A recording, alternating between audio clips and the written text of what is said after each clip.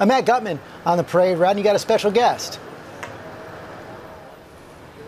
I, I do. This is Shane Bouvet. He's taking off his jacket right now, and he's going to show you the fantastic suit he got for the occasion.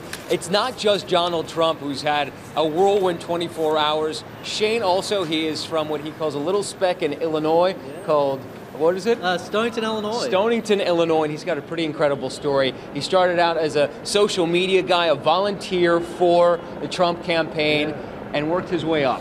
You know, it's just an absolute blessing to even be here right now talking to you. You know, you just seem like a great, genuine guy, and I'm blessed just to be here in D.C. and enjoying history.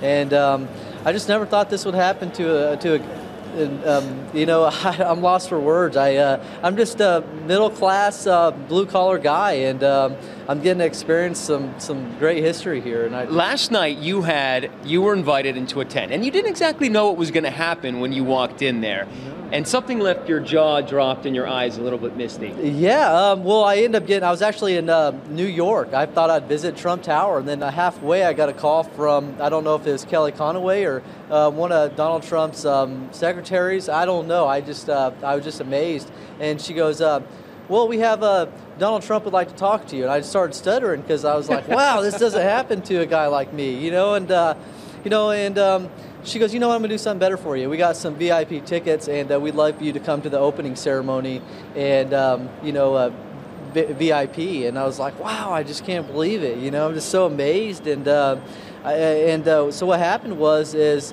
Secret Service uh, followed me into um, a room that Donald Trump was in, and all started clapping, and it was just so touching to me, and I, I, I just lost for words. And it was especially touching to you because you're a, a single father, you're 24 years old, and your own father, who is a vet, um, is sick, right? Yeah, yeah. He has uh, he has cancer, and um, you know he, he was the American dream. He uh, he served our uh, our military. He was in the army, and uh, we lived in a trailer.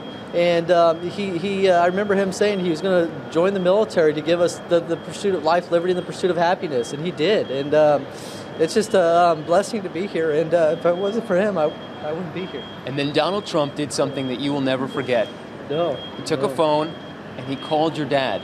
He did. And what's he, your dad's he, name? Yeah, Don Bouvet. Don as well, right? Yeah, yeah. He, he called my dad and uh, he goes, "Hey, Don, I like your name," and because uh, because they share the same name, and uh, he changed my life forever.